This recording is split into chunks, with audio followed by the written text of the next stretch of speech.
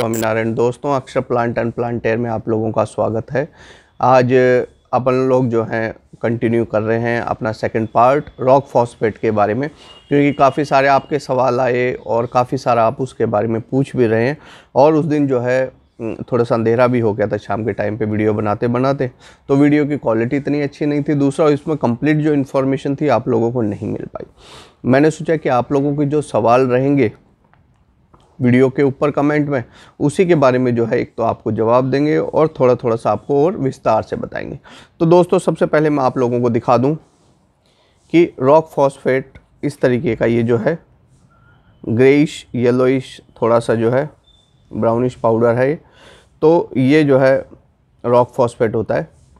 ये उन रॉक्स का चूरा होता है जिनसे जिनके अंदर जो है फॉस्फोरस की मात्रा ज़्यादा होती है। जैसे मैंने पहले वीडियो में बताया था आपको कि ये उससे बना होता है कि जिस रॉक्स के अंदर फॉस्फोरस की मात्रा ज़्यादा हो।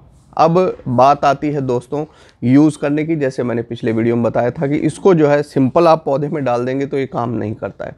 इसको अवेलेबिलिटी बनाने के लिए एक तो इसके अंदर जो है कोई भी तरीके का कंपोस्ट हो, भले वर्मी कंपोस्ट हो काउडंग कंपोस्ट हो, या जो है सादा कंपोस्ट हो। कोई सा ना कोई सा कंपोस्ट चाहिए, उसके अंदर जो अवेलेबल कार्बन होती है और उसके अंदर जो अवेलेबल बैक्टीरिया होते हैं, वही जो है इसको ब्रेक डाउन करके और आपके पौधे के अंदर इसकी अवेलेबिलिटी को जो है फॉस्फोरस की को बढ़ा सकते हैं या इस जो मटेरियल है, इसको यूटिलाइज कर लेते हैं। अब दोस्तों, बात करें इसकी अवेलेबिलिटी की, कि ये मिलेगा कहाँ? काफ़ी लोग पूछ रहे हैं कि मिलेगा कहाँ मिलेगा कहाँ? तो दोस्तों, ये रॉक फॉस्फेट जो होता है, ये एक तरीके से जो है मिनरल है। मतलब ये रॉक्स का चूरा है और ये मतलब एज सच है कि फिनिश्ड प्रोडक्ट नहीं है। अपन जैसे यूँ बोलें कि फिनिश्ड प्रोडक्ट ये रॉ मटेरियल होता है। इस रॉ मटेरियल से जो है यू डीएपी जो बनाते हैं डीएपी बनाने में काम में आता है एसएसपी बनाने में काम में आता है और उसके अलावा जो है प्रॉम बनाने के लिए काम में आता है, जो फॉस्फोरस रिच ऑर्गेनिक मैन्योर होता है, जिसके बारे में पहले वीडियो अपन बना चुके हैं। तो उसको जो है, बनाने के लिए जो है, अपना जो रॉक फॉस्फेट है, ये काम आता है। एज सच ये फिनिश्ड प्रोडक्ट नहीं होता कि इसको मार्केट के अंदर जो है, लोग सेल नहीं करते हैं इसको।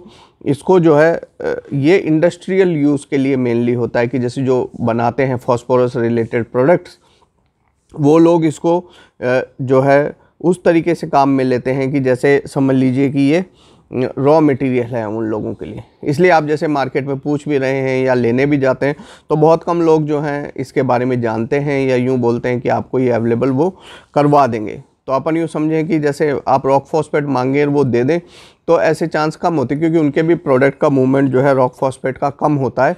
और उनके यहाँ से जैसे फिनिश्ड में डीएपी हो गया एसएसपी हो गया या प्रोम हो गया, वही वो लोग प्रोडक्ट सेल करते हैं, क्योंकि उसी की उनके डिमांड रहती है।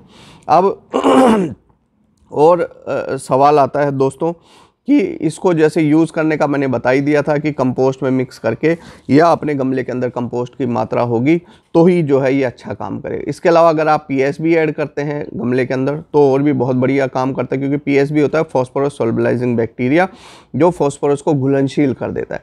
तो उसको घुलनशील करके और पौधे के अंदर जो है ये प्रॉपरली काम कर पाता है। बात करें एप्लीकेशन की तो एप्लीकेशन के लिए सिंपली अपने को क्या करना है? जैसे मैं एक पॉट में आपको दिखा देता हूँ। मैंने ले रखा हाथ में। और इसके अंदर जो है, अपने को चारों तरफ़ थोड़ा सा, जैसे एक स्पून के करीब स्प्रिंकल किया और इसको गुड़ाई कर देनी है। क्योंकि ये ऊपर ही पड़ा रहेगा तो पौधे में काम नहीं करेगा। तो एक स्पून के करीब अपन ने डाल दिया और चारों तरफ़ जो है कोई भी चीज़ से अपन गुड़ाई कर देंगे तो पौधे के अंदर जो है ये रूट्स तक चले जाएगा, क्योंकि मेन जो है फॉस्फोरस का रूट्स के आसपास ही जो है इसका यूटिलाइजेशन होता है। अब दोस्तों, आपको समझ लीजिए कि रॉक फॉस्फेट नहीं मिल रहा है तो आप क्या करें? रॉक फॉस्फेट नहीं मिल रहा, आपको कोई प्रॉब्लम नहीं है, आप प्रॉम ले लीजिए। फॉस्फोरस रिच ऑर्गेनिक मैन्योर आता है, बहुत सी ऑर्गेनिक कंपनीज़ हैं जो प्रोम बनाती हैं।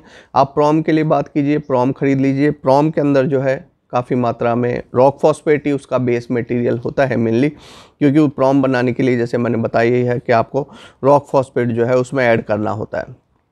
तो रॉक फॉस्फेट नहीं मिल रहा है तो प्रोम खरीदिए। प्रोम के अंदर रॉक फॉस्फेट है ही। और उसको आप यूज़ करेंगे तो रॉक फॉस्फेट के सारे गुण आपको मिल जाएँगे। इसके अलावा बात आती है, जैसे एक ने मुझसे पूछा फ्रेंड ने अपने सब्सक्राइबर ने कि साहब मैं फ़िश जो है मील यूज़ करता हूँ, या जो bone meal sorry fish meal नहीं बोन मील मैं यूज़ करता हूँ, और बोन मील का जो है, उसकी जगह रॉक फॉस्फेट यूज़ कर सकते हैं। हाँ कर सकते हैं, कोई प्रॉब्लम नहीं है।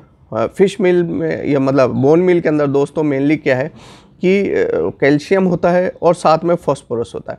और उसके अंदर जो मात्रा होती है फॉस्फोरस की, वो पंद्रह सोलह परसेंट के लगभग जो होती है और सात आठ परसेंट उसके अंदर फॉस्फोरस होता है। तो जो लोग बोन मिल यूज़ नहीं करना चाहते, क्योंकि बोन मिल आपको पता ही है कि जानवरों की हड्डियों का चूरा होता है। मैं भी जैसे एक बार ले आया था और फिर मेरे को, जैसे मैंने टच उसको किया और मेरे को ऐसा लगा कि जैसे उसकी डस्ट जैसी मेरे नाक में अंदर गई हो। तो मैं उसको प्रेफर कम ही करता हूँ। क्योंकि जैसे उसके अंदर ऐसे बोलते तो हैं कि उसको स्टरलाइज करके और उस तरीके से जो पीस करके फिर बनाया जाता है स्टीम करके, मगर थोड़ा सा एक्सेप्टेंस उसको लेकर के कम आता है अपने अंदर में। तो आपको अगर बोन मिल से प्रॉब्लम है, आप बोन मिल यूज़ नहीं करना चाहते हैं तो आप जो है रॉक फॉस्फेट का जो प्रॉम आता है प्रॉम यूज़ कीजिए, कोई समस्या नहीं है। और जैसे आपको प्रॉम में नहीं मिल रहा है तो आप डीएपी यूज़ कर सकते हैं, दस दाने अपन ने डाले मगर डीएपी क्या होता है? केमिकल होता है, कई बार उसकी जो है ओवर वो हो जाती है। जैसे आप एक्सेस फर्टिलाइजेशन हो जाता है प्लांट में तो प्लांट को हार्म कर देता है कई बार। मगर आप कंट्रोल्ड वे में जो है डीएपी यूज़ करेंगे या कंट्रोल्ड वे में एसएसपी यूज़ करेंगे तो भी कोई समस्या नहीं है। मगर आपको प्रॉम मिलता है तो सबसे बेस्ट है, क्योंकि उसकी डोजिंग थोड़ी सी ज़्यादा कम हो जाती है तो कभी भी पौधे को जो है प्रॉम हार्म नहीं करता है। तो दोस्तों, कई ये भी पूछे मेरे से, एक दो हमारे सब्सक्राइबर के साहब, जो है रॉक्स का, जो है रॉक्स डस्ट क्या होती है? तो रॉक्स डस्ट ऐसा सच कुछ नहीं है दोस्तों, जैसे रॉक्स का चूरा बना दिया, जैसे बजरी होती है, वो रॉक डस्ट में आप काउंट कर सकते हैं। मैं कभी देखा नहीं कोई ऐसा कंपोनेंट मार्केट में मिलता हो जिसको रॉक डस्ट बोलते हो। रॉक्स का चूरा हो गया या रॉक्स का पाउडर हो गया तो जैसे रॉक फॉस्फेट है, ये अपने आप में एक स्पेसिफिक प्रोडक्ट ज़रूर है, जिसके अंदर फॉस्फोरस की मात्रा ज़्यादा है, और ये जो है उन रॉक्स का ही चूरा होता है जिनके अंदर फॉस्फोरस होता है। तो रॉक डस्ट जो है, कोई हो सकता है मार्केट में मिलने लग गया हो, मेरी जानकारी में नहीं है अभी वो। मगर ऑर्गेनिकली जैसे फॉस्फोरस का सोर्स की अपन बात करें तो रॉक फॉस्फेट जो है बेस्ट है। तो दोस्तों, आज का वीडियो इतना ही। अक्सर प्लांट एंड प्लांटेर आपका अपना चैनल है। फॉस्फोरस का यूटिलाइजेशन और बाकी चीज़ें अपन ने पहले वीडियोज़ में डिस्कस की हुई हैं। आप वो वीडियोज़ देख सकते हैं। वीडियो देखने का बहुत बहुत धन्यवाद। नमस्कार।